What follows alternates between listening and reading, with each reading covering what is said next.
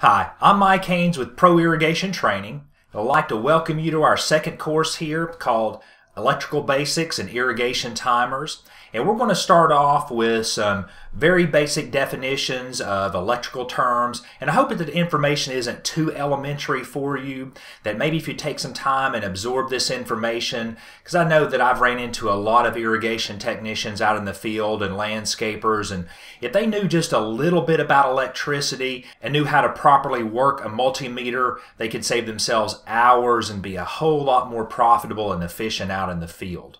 Let's start off with a good definition of electricity. Electricity is the free flow of electrons through a circuit. Now, the free flow of electrons depends on the presence of a good conductor.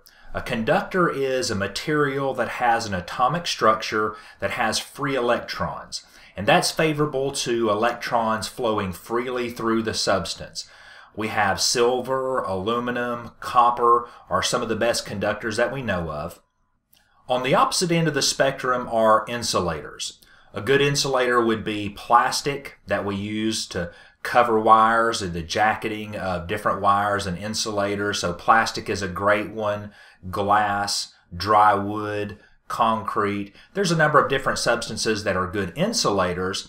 And what makes them so is the absence of free electrons. They have an atomic structure that doesn't allow electrons to easily pass through them. The other part of that definition is the free flow of electrons through a circuit.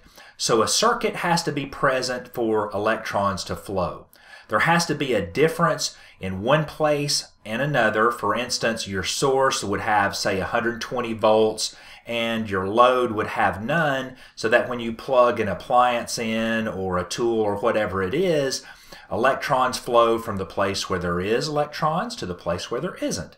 So if there's no difference, there's no flow of electrons. Now a circuit is necessary, which means that there has to be a path all the way around. It, the electrons have to leave the source, go out to the load or the appliance or the electric tool or whatever it is we're dealing with. But then the electrons have to return back to the source so that there is a constant circuit. There's a constant cycle of electrons that are passing through the circuit that this is connected to. And when we talk about circuits, there are two different kinds that we can deal with. One is a series circuit, which is just one continuous loop, and every part of that circuit is a piece in this series. And if one component breaks or fails, then it opens the series circuit up and electrons can no longer flow through it.